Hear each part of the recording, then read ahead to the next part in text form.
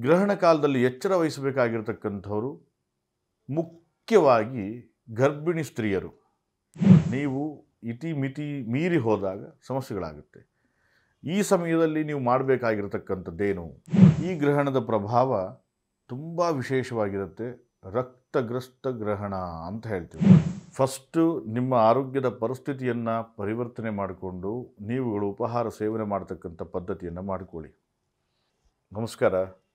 ನಾನು ನಿಮ್ಮ ಪ್ರಧಾನ ತಾಂತ್ರಿಕ್ ವಾಸುದೇವ್. ನಿಮ್ಮೆಲ್ಲರ ಸಂಕಷ್ಟ, ದಾರಿದ್ರ್ಯ ನಿವಾರಣೆಗಾಗಿ ನಮ್ಮ ದೈವ ಸಾನ್ನಿಧ್ಯ ಚಾನಲನ್ನು ತಪ್ಪದೇ ಫಾಲೋ ಮಾಡಿ. ಸರಳ ಪರಿಹಾರ ಮಾರ್ಗಗಳನ್ನು ತಿಳಿಸತಕ್ಕಂತಹ ವಿಶೇಷವಾಗಿರುವಂತಹ ಒಂದು ವ್ಯವಸ್ಥೆಗಾಗಿ ನಿಮ್ಮಲ್ಲಿ ಒಂದು ಮನವಿ. ಹಾಗೆ ಈ ದಿನ ಬಹಳ ವಿಶೇಷವಾಗಿರತಕ್ಕಂತಹ ಒಂದು ಎಪಿಸೋಡ್ ನಿಮಗಾಗಿ ಮಾಡ್ತಾ ಇದ್ದೇವೆ. ಪಂಚಭೂತಗಳ ನಡುವೆ ನಾವೆಲ್ಲರೂ ಸಹ ಇದ್ದೇವೆ. ಹಾಗೆ ಈ ಪಂಚಭೂತಗಳಲ್ಲಾಗತಕ್ಕಂತಹ ಪರಿವರ್ತನೆಗಳೇನು? ಇದು ಮನುಷ್ಯನ ಮೇಲೆ ಬೀಳತಕ್ಕಂತಹ ಪ್ರಭಾವ ಎಷ್ಟು?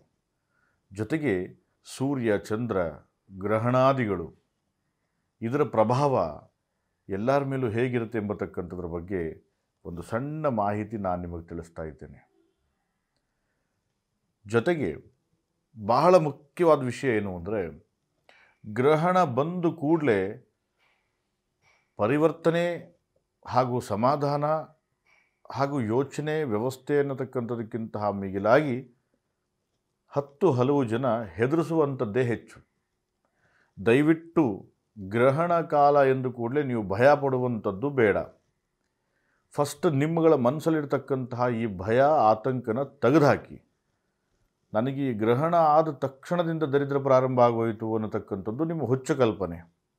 ಅಥವಾ ಗ್ರಹಣದ ಮುಂಚೆಯೇ ನನಗೆ ಏನೋ ಒಂದು ರೀತಿ ಪರಿವರ್ತನೆಗಳಾಗ್ತಿದೆ ಎಂಬತಕ್ಕಂಥದ್ದು ನಿಮ್ಮಗಳ ಹುಚ್ಚು ಕಲ್ಪನೆ. ಗ್ರಹಣ ಬಹಳ ವಿಶೇಷವಾಗಿರತಕ್ಕಂಥದ್ದು ಸೂರ್ಯ, ಚಂದ್ರ, ಭೂಮಿಯ ನಡುವೆ ನಡೆಯತಕ್ಕಂತಹ ಒಂದು ವ್ಯವಸ್ಥೆ. ನಮ್ಮ ಪುರಾತನದಲ್ಲಿ ತೆಗೆದರೆ, ಪುರಾಣಗಳಲ್ಲಿ ತೆಗೆದರೆ, ರಾಹು, ಕೇತು ಎರಡೂ ಗ್ರಹಗಳ ಒಂದು ದ್ವೇಷ ಸೂರ್ಯ ಚಂದ್ರರನ್ನು ನುಂಗುವಂತಹ ಒಂದು ಪ್ರವೃತ್ತಿ.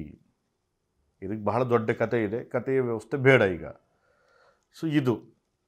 ಇದರ ಪ್ರಭಾವ ಬಂದು ಭೂಮಿ ಮೇಲೆ ಹಾಗೂ ಜೀವಿಗಳ ಮೇಲೆ ಇನ್ಕ್ಲೂಡ್ ಮನುಷ್ಯ ಜೀವಿಯೂ ಸಹ, ಇದರ ಮೇಲೆ ಎಷ್ಟು ಪರಿಣಾಮ ಬೀರುತ್ತೆ ಎಂಬತಕ್ಕಂಥದ್ದು ಇವೆ.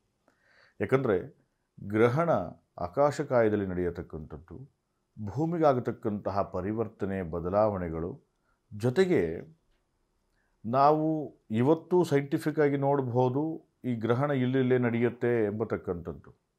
ಆದರೆ ನಮ್ಮ ಪೂರ್ವಜರು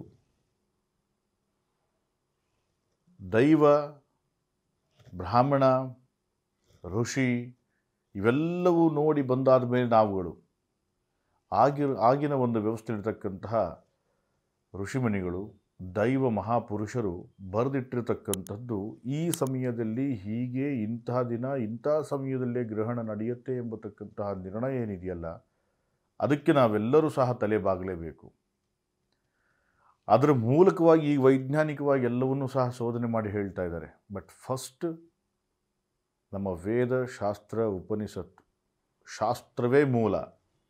ಆಗ ಯಾವ ವಿಜ್ಞಾನಿಗಳು ಇರಲಿಲ್ಲ ಆಗ ಯಾವುದೇ ರೀತಿಯಾದಂಥ ದೃಷ್ಟಿಕೋನವನ್ನು ಹಾಕಿ ನೋಡುವಂಥ ಪರಿಸ್ಥಿತಿ ಇರಲಿಲ್ಲ.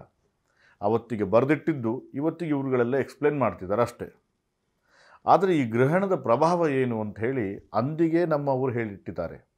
ಏನು ಅಂತಂದರೆ ಎಚ್ಚರ ವಹಿಸುವಂಥ ಸ್ವಲ್ಪಷ್ಟುವೆ ಇವಿಷ್ಟು ಸ್ವಲ್ಪ ನಿಗಾ ವಹಿಸಬೇಕು. ಇದರಿಂದ ಉಪಯೋಗ ಬಹಳಷ್ಟು ಇದೆ. ಉಪಯೋಗಗಳನ್ನು ಸಹ ನೀವುಗಳು ತಿಳ್ಕೋಬೇಕು. ಗ್ರಹಣ ಅಂದು ಕೂಡಲೇ ಭಯ ಪಡೋದಲ್ಲ. ಗ್ರಹಣ ಪ್ರಭಾವ, ಉಪಯೋಗ ಹಾಗೂ ಎಚ್ಚರ ಇದು ಮೂರನ್ನೂ ಸೇರಿದಾಗಲೇ ಒಂದು ಗ್ರಹಣ.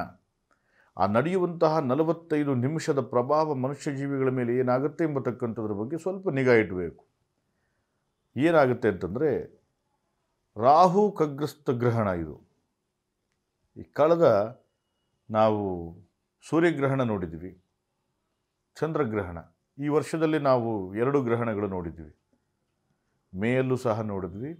ಎರಡನೇ ಚಂದ್ರಗ್ರಹಣ ಇದು ನಮಗೆ. ಹಾಗಾಗಿ ಈ ಚಂದ್ರಗ್ರಹಣ ರಕ್ತವರ್ಣವಾಗಿರುವುದರಿಂದ ದಯಮಾಡಿ ನಾನು ಹೇಳ್ತಕ್ಕಂಥದ್ದು ನಿಮಗೆ ಆರೋಗ್ಯದಲ್ಲಿ ಗೊಂದಲ ಇರತಕ್ಕಂಥವರು, ಅನಾರೋಗ್ಯದವರು, ಯಾರೋ ಹೇಳ್ತಾರೆ ನಾವು ಊಟ ಬಿಟ್ಬಿಡ್ತೇವೆ, ಗ್ರಹಣ ಮುಗಿಬೇಕು ಅನ್ನುವಂಥದ್ದಿದ್ದರೆ ಅದು ನಿಮ್ಮ ದಡ್ಡತನ.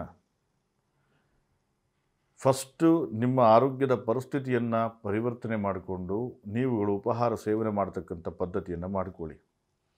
ಜೊತೆಗೆ ಸಣ್ಣ ಮಕ್ಕಳುಗಳಿಗೂ ಸಹ ಊಟ ಉಪಚಾರಗಳನ್ನು ಕೊಡಬಹುದು, ತೊಂದರೆ ಇಲ್ಲ.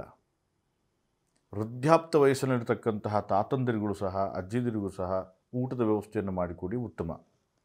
ಅದಾದ ಬಳಿಕ ಈ ದಿನ ಪ್ರಯಾಣ ಬೇಡ. ನಿಮ್ಮ ಮಕ್ಕಳುಗಳಿಗೆ ಹೇಳಿ ಆದಷ್ಟು ಟೂ ವೀಲರ್ಗಳಲ್ಲಿ ಜರ್ನಿ ಮಾಡೋದು ಬೇಡ ಎಂಬತಕ್ಕಂಥದ್ದು. ಗ್ರಹಣ ಸಮಯದಲ್ಲಿ ಮೂರು ಜಾಗಕ್ಕೆ ನಿಷೇಧ ಇರುತ್ತೆ. ಒಂದು ನದಿಯ ತೀರ ಅಥವಾ ಸಮುದ್ರದ ತೀರ. ಎರಡನೇದು ಗುಡ್ಡಗಾಡು ಪ್ರದೇಶ. ಇಂತಹ ಜಾಗಗಳಲ್ಲಿ ಸ್ವಲ್ಪ ನಿಷೇಧ ಆಗೋದು ಬಹಳ ಉತ್ತಮ. ಜೊತೆಗೆ ಗ್ರಹಣ ಕಾಲದಲ್ಲಿ ಎಚ್ಚರ ವಹಿಸಬೇಕಾಗಿರ್ತಕ್ಕಂಥವರು ಮುಖ್ಯವಾಗಿ ಗರ್ಭಿಣಿ ಸ್ತ್ರೀಯರು. ಗರ್ಭಿಣಿ ಸ್ತ್ರೀಯರು ಬಹಳ ಎಚ್ಚರ ವಹಿಸಬೇಕಾಗತ್ತೆ.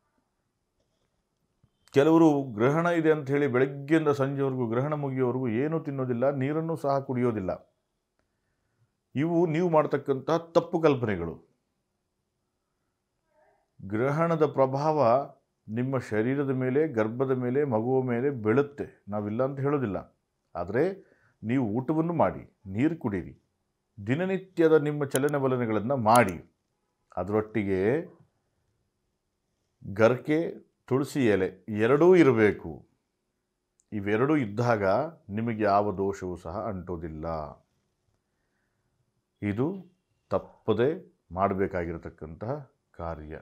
ದಯಮಾಡಿ ಇದನ್ನು ಮಾಡಿಕೊಡಿ.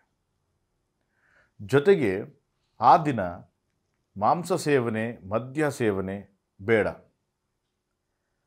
ಇದು ಚಂದ್ರಗ್ರಹಣವಾಗಿರೋದ್ರಿಂದ ಚಂದ್ರ ಮನೋಕಾರಕ, ಮಾತೃಕಾರಕ, ಜ್ಞಾನಕಾರಕನಾಗೋದಿಲ್ಲ, ಮನೋಕಾರಕನಾಗ್ತಾನೆ. ಹಾಗಾಗಿ ನಿಮ್ಮ ಜ್ಞಾನಕ್ಕೂ ಇದು ಏಟು ಬೀಳುತ್ತೆ. ನೀವು ಇತಿ ಮಿತಿ ಮೀರಿ ಹೋದಾಗ ಸಮಸ್ಯೆಗಳಾಗುತ್ತೆ. ಈ ಸಮಯದಲ್ಲಿ ನೀವು ಮಾಡಬೇಕಾಗಿರತಕ್ಕಂಥದ್ದೇನು? ಚಂದ್ರ ಗ್ರಹಣ ಇರೋದ್ರಿಂದ ದುರ್ಗೆಯ ಆರಾಧನೆ, ದುರ್ಗೆಯ ಮೂಲ ಮಂತ್ರಗಳನ್ನು ಜಪಿಸತಕ್ಕಂಥದ್ದು ನದಿ ಸ್ನಾನ, ನದಿಯ ಪಕ್ಕದಲ್ಲಿ ಕೂತು ಜಪ್ಸತಕ್ಕಂಥದ್ದು, ಅದು ದೇವಸ್ಥಾನದ ಹತ್ತಿರ ಇರತಕ್ಕಂಥ ವಿಶೇಷವಾಗಿರುವಂತಹ ಸಿದ್ಧಕ್ಷೇತ್ರಗಳಲ್ಲಿ ಹೋಗಿ ಜಪವನ್ನು ಮಾಡಿ.